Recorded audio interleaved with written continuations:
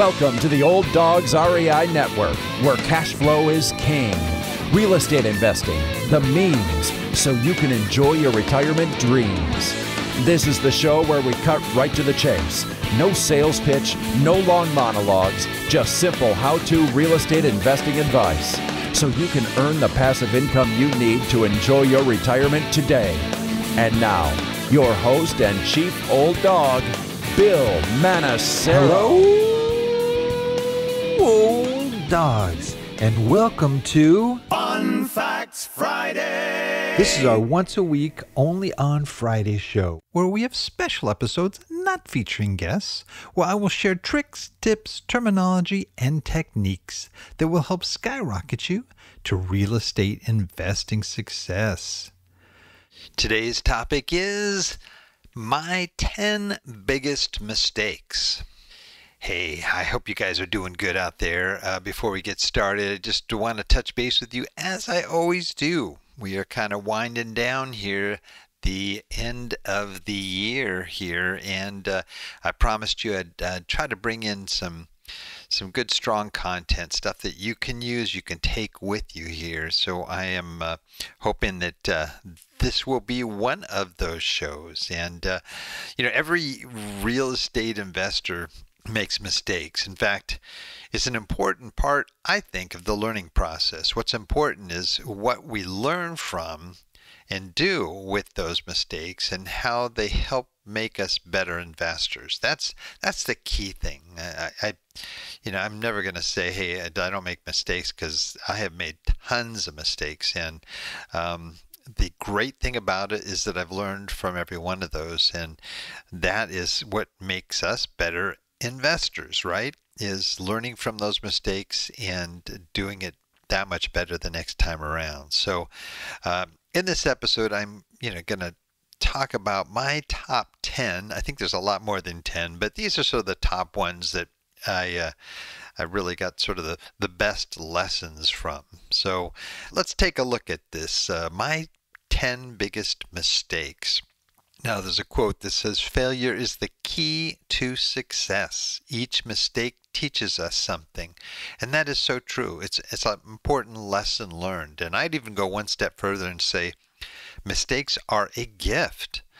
Without them, the learning process can take so much longer.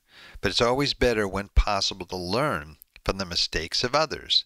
That's why I always ask my guests to share their mistakes and lessons they've learned to hopefully save you that personal pain point there.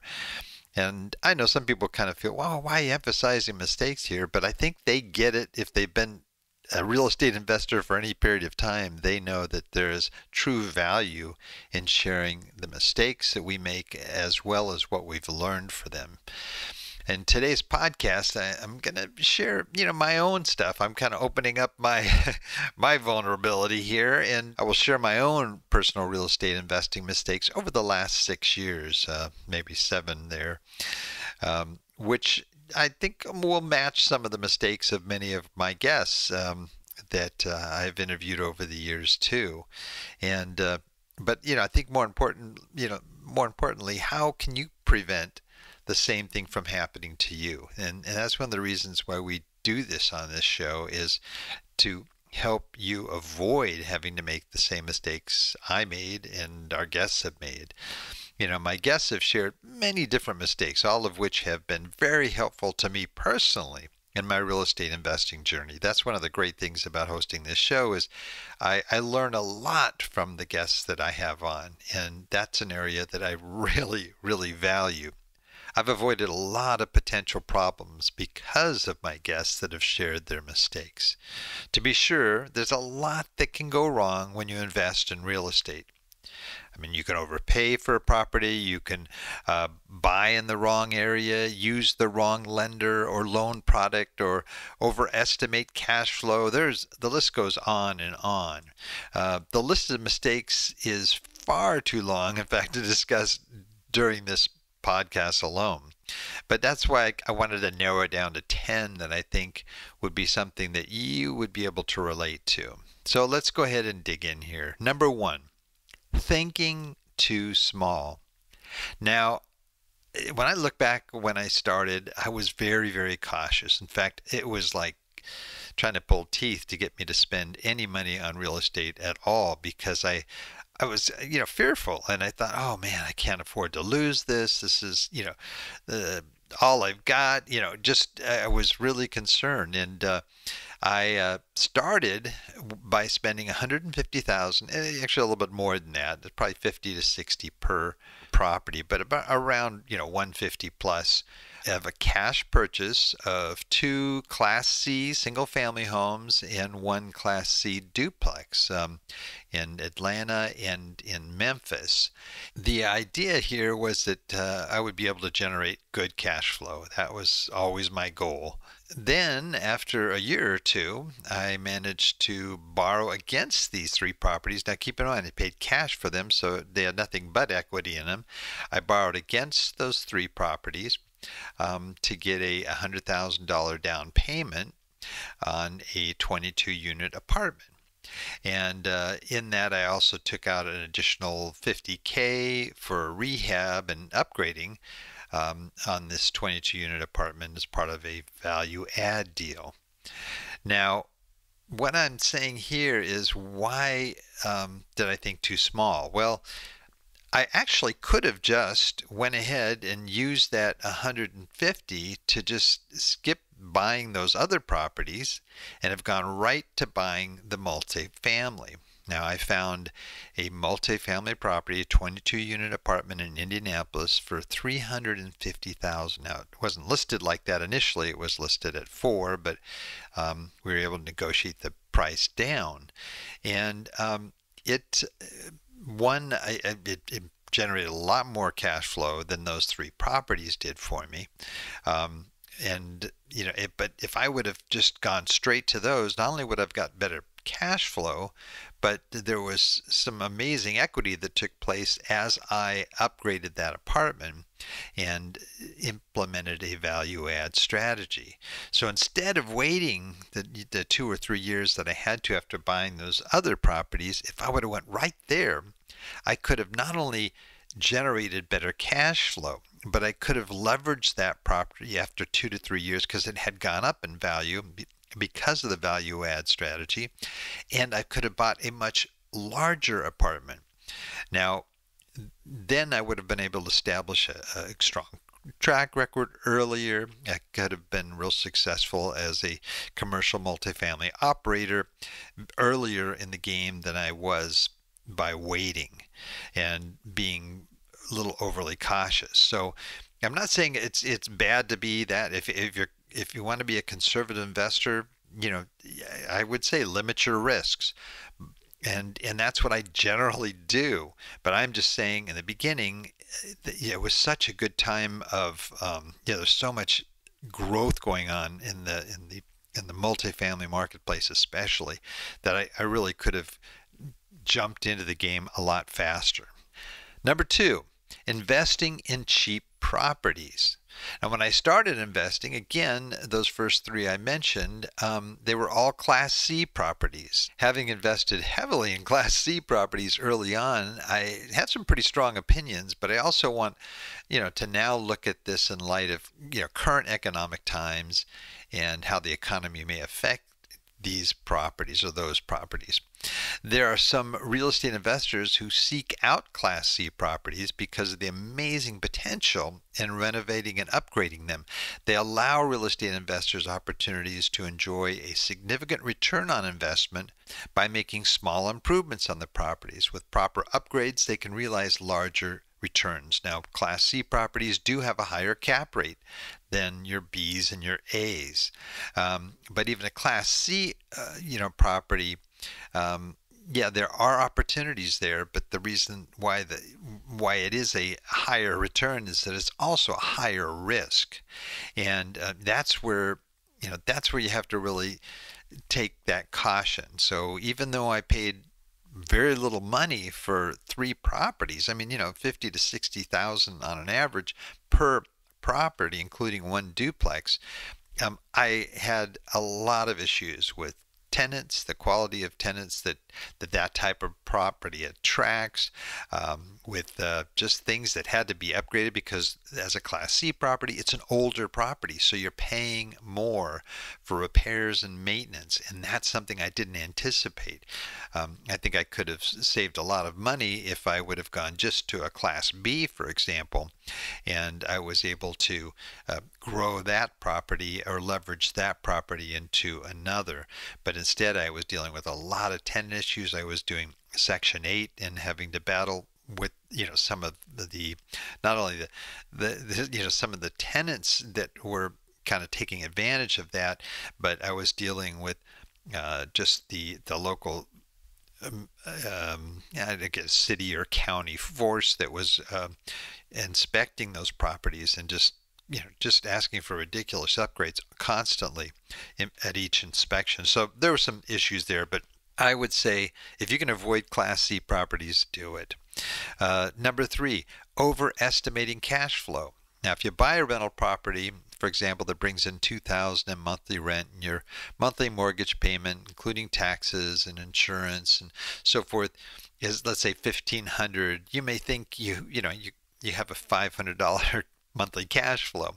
But then there's all those other little expenses in there that aren't factored into that mortgage payment. And, uh, you know, there are repairs, there are you know, administrative costs, there are these other things. And you begin to realize that with each analysis that you do of a property, you remember, oh, wow, this is something I, I forgot to factor in previously, and uh, so that cash flow gets reduced more and more and more, and you realize, gee, here's something I thought I would make, you know, at least 400 in, and I'm lucky to squeak out 150. So you really have to know your numbers. It's really key, and uh, cash flow is something that especially as a retired person, you really want to be um, strong and you want to be able to depend upon it. So um, there are a lot, a lot of factors there. Uh, again, that was uh, one of my biggest mistakes is, is just overestimating what I thought my, my cash flow would be. And number four, uh, again, you know, I mentioned this here, avoid Class C properties. One of my personal mistakes is that I, I did buy a bunch of Class Cs, and because of that, um, you know, it the attraction was they were cheap. And Class C properties are usually older buildings that have more than 30 years um, uh, with minimum amenities and they're outdated systems and uh, mechanicals you have problems with and so forth. So, um, you know, that's that's a, another one is that I, I, I, should have went in there with the idea of avoiding um, Class C properties. I know I sound like I repeated that, but that was talking about just cheap properties in general. Sometimes we're attracted to cheap properties because, gosh, you know, I could get five of these um, and maybe only get two Class Bs for the same price. But, you know, those Class Bs are probably in the long term going to be more valuable to you in terms of cash flow and appreciation than that Class C. Uh, number five, not venting property managers more carefully. Now, when I first bought my, my first properties I was um, buying turnkey. And so it was a package deal. And I thought, wow, not only did they rehab the property, you know, but they have this built in property manager. And I thought, well, that's great because I'm buying it from these people. They're going to be accountable um, as a property management firm too. Um, but that was not the case. Um, a lot of times, you know, you'll have a, a, a turnkey, I don't to say a lot of times, but enough times, you'll have a turnkey provider that will um, will take that property management and, and job it off to somebody else. In other words, these are not their employees. This is just a property manager, maybe in the area that works with them, but they're not really responsible. And so I had I went through so many property managers with those turnkeys that it was very very frustrating for me. I didn't know a lot about vetting property managers. In fact, I didn't know anything about property managers, period. And as a result of that, I, I made some poor decisions and I had vacancies that went too long. I had turnovers that took too long. There were just a lot of situations that um, were just were just really really difficult to deal with. So um, again, learn how to vet property managers and and there's a whole uh, we have a whole I mean a lot of podcasts and blog articles about the questions that you should be asking those property managers before you hire them. So uh, that's a you know that's a key one. Number six, not checking out the market better. Now, in the beginning, I was kind of naive. I thought I thought I knew everything. Right? You go in there, what are you know there's just certain things that you have to look at in a market, especially if you're an out-of-state investor like I was. You have to look at things like, you know, what what are the real estate prices doing in that area? Are they going up? Are they declining? Are they stagnant? Um, you know, what are projections um, for uh, you know the prices are staying stable because a lot of times prices and rents you know kind of react the same. If it's stagnant, you know, you're going to have rents that aren't going up. You're going to have prices that aren't going up too. Um, things like what is the local job situation, uh, job growth percentages, are they going up down? Uh, are new employees coming to the area? Is the market dependent on a single employer, like a, a large university or something, uh, or an industry? You should be compiling those uh, unemployment stats and trends and get a good feel for what's happening with the with the um, employment situation, and then just look at the overall local economy. Are are businesses closing or moving out of the area? Are commercial real estate values and office occupancy rates increasing? Um, is there a redevelopment plan, you know, by the city or uh, by the county that's going on in there? Does the city have a major growth initiative? You know, things like this that are really critical to investors and um, the value of your property. Number seven, wasting time with the wrong funding source. Uh, again, in the beginning, I was very naive. Uh, you know, just went with the local bank that was referred to me, maybe by the broker um, or by my property manager, and um, I would waste all this time going through just tons of um, due diligence for their side, that where they're where they're vetting me and um, and then after after going through all this, okay, I've already got this property under contract. I'd find out I didn't get the loan, and then I had to go to somebody else, and then uh, you know it was I was afraid it was going to take the same amount of time, so I actually would go to somebody that was a almost like a private money source that cost a lot more, just so that I didn't lose the deal. But it's so critical to when you go into a deal is to know what you have available to you, not only the funds you're going to put into a down payment um, and you're going to use for rehab but uh, you know do you have a, a, a, dependable funding source? You know is it a bank or, or a credit union or something that should have been set up in advance? For me that's what i should have had going into these deals. It also gives you leverage too and negotiating too when you've got that pre-approval or at least a very heavy um, um, sort of support there uh, financially uh, number eight, um, not having sufficient operational reserves. Now, this is one I, I, again I didn't suspect that I would need. You should have at least a six month reserve there to back yourself up uh, pending anything that could be happening not only in the economy as a, a you know a, on a sort of a macro basis but on the micro level um, as well. Um, and especially if you're investing in, in properties there are things that can happen you know, that you didn't suspect.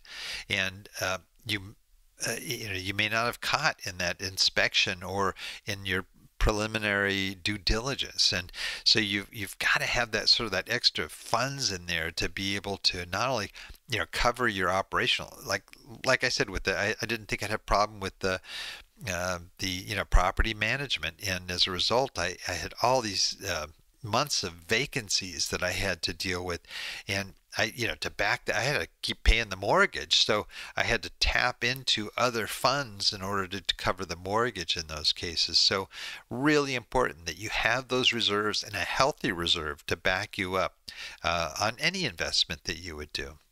Number nine, don't just buy for cash flow. Now, I know I sound like I'm talking against myself here because our motto here is cash flow is king, right?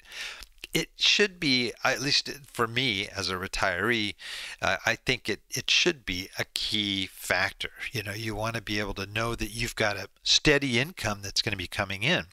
As I started to invest more, I began to see the advantage of equity too, especially during the years that I was investing heavily, um, it was still kind of post recession and their properties were going up in value. So, about halfway through my investing efforts, I sought to build in that equity factor more, buying properties that had built in equity. So, when I signed those escrow papers, I knew I already had equity built into that property and I knew I could leverage that. Uh, in addition, I, I, learned about and sought out emerging markets more.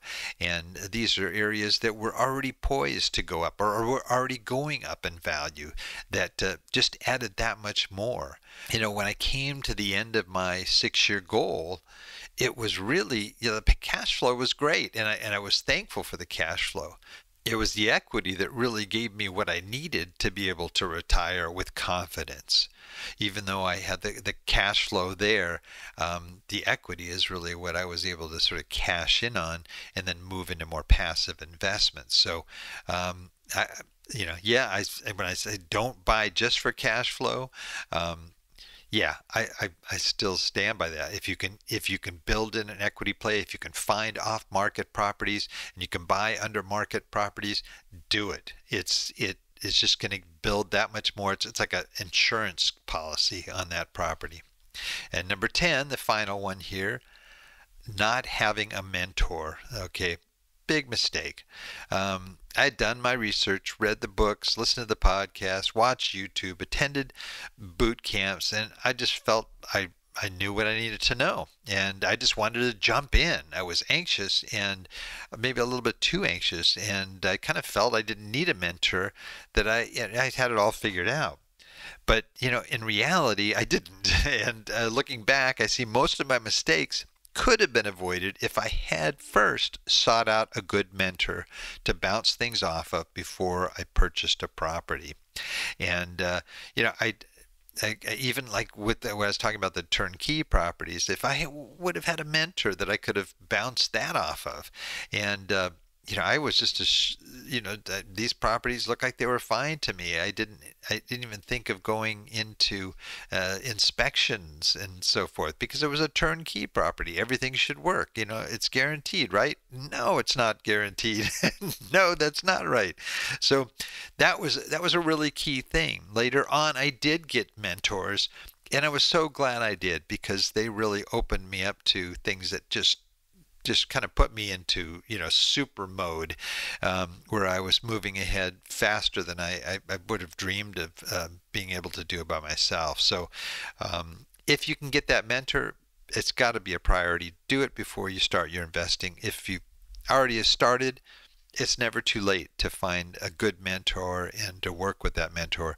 Um, it just it it just makes a world of difference and and those those are my 10. Um, I actually have a couple of bonus mistakes, as if we need bonus mistakes here. But anyway, uh, the, I'd say this is and this is when I I, I love talking to the old guys. You know, the older they are, the better. You know, uh, I I just glean from them some such great information. And uh, uh, one of my favorite interviews with uh, with with a um, a guy named Samuel Freshman. He was a, um, you know, went to Stanford Law. He was, uh, he wrote literally the book on real estate syndication.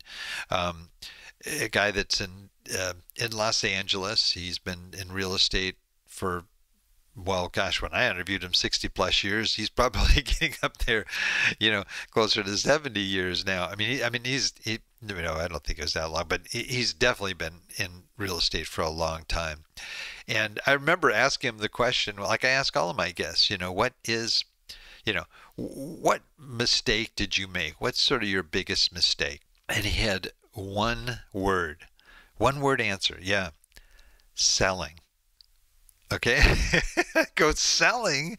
Well, how are you going to make any money if you're not selling? You know, and I, I was kind of surprised um, that that's what he said, but he's, you know, he basically told me the story. He goes, Yeah, I, I thought I was a hot shot. I was in LA, uh, downtown. I'm selling commercial buildings. I got, I bought this office building for a million dollars and I sold it three months later for two million. And I was bragging to all my buddies and everything. Yeah, you know, I, I made a million dollars. And yeah, you know, back then when you bought it, I mean, that, that was a heck of a lot of money. But then he says, Yeah, but today I see that building every day when I drive into work.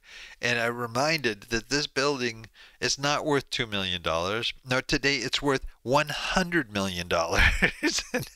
he's going, Why didn't I hold on to it? Anyway, he's a funny guy, but he's a great guy. Um, but, you know, I, I get it. And, uh, you know, sometimes we, uh, uh, you know, and I, I, guess the other part of his answer too is he said not buying more too. He said I, should have bought more real estate because you can't lose by buying more. you just can't, especially when you you know you're buying for the long term. And so um, I'll have a link to that that show that he's on, but it's a real a real good lesson learned. But uh, anyway, these are my Big Ten, and I'm sure if you don't already have some of your own, you certainly will if you're going to be in this for the long for the long shot. Um, it's not a bad thing. Okay, don't consider mistakes, you know, something that is is a, yeah. I mean, you can say um, just by the definition, a mistake is something you don't want to do. But uh, I I consider it more of a blessing than a curse. Um, and, and for me, it was like a free education, if you will. Yeah, it's a hard education. It's uh, from the school of hard knocks, without a doubt. But either way, it doesn't mean you shouldn't try to avoid mistakes as best you can. I mean, you're going to have the mistakes anyway, but understand mistakes will will happen, and they and and make the best of them when they do happen. Learn from them and chalk it up to experience. The bottom line if you can learn from other people's mistakes uh, from this show today from all of the shows that we've had guests on that have shared their mistakes remember and learn from what they say about their mistakes and then from there you know hopefully you won't slip up and do the same you'll find your own way you'll find your own mistakes but consider it homework learn what needs to change re-engineer do it better and reap the rewards. Well, that's it for now. Please note, Old Dawg listeners, everything presented here today, and there will be some links in here as well, can be accessed in our detailed show notes on the Old Dawg's website at olddawgsreinetwork.com forward slash blog. And you're going to look for the episode entitled My 10 Biggest Mistakes. 10 out of a million. Anyway, uh, well, that's the show for today. Remember, Cash flow is king and real estate investing the means. Until next time, keep moving forward and may God bless. Thank you very much for visiting the Old Dawg's REI Network. We would greatly appreciate if you would stop by iTunes and let us know what you think of the show. We would love if you could subscribe to the podcast, give us a five star rating, and write a review. The more ratings and reviews we receive, the more visible the podcast will be to others. Thank you.